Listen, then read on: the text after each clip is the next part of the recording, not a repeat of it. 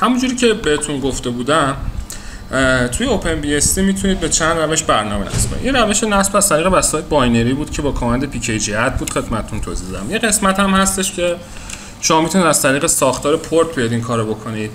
فقط اینکه شاخه پورت اینجا الان توی OpenBSD وجود نداره. بستش رو باید برید دانلود بکنید. برای دانلود کردنش هم شما باید به یه FTP سرور وصل بشید. حالا من FTP سروری که حالا نزدیک ایران هست و بهش وصل میشم. بعد از طریق اون باید بیاید پورت رو دانلود بکنید. میرم تو شاخه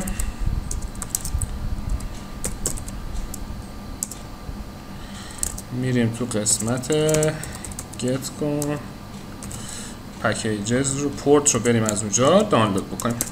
همونجور که می‌بینید یه حجمی داره و عرضم به حضورتون که خیلی راحت می‌تونید بیاید این رو اضافه بکنید و extract ش بکنید زیر شاخه slash usr ports و بیاید از اون طریق بیاید پورت رو ازش استفاده بکنید.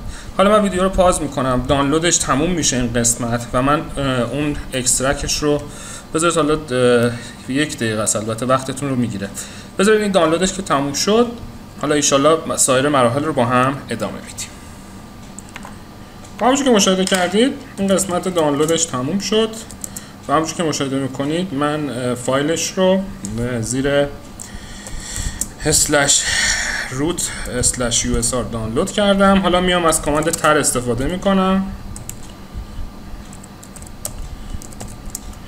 و شروع می‌کنم extract کردن.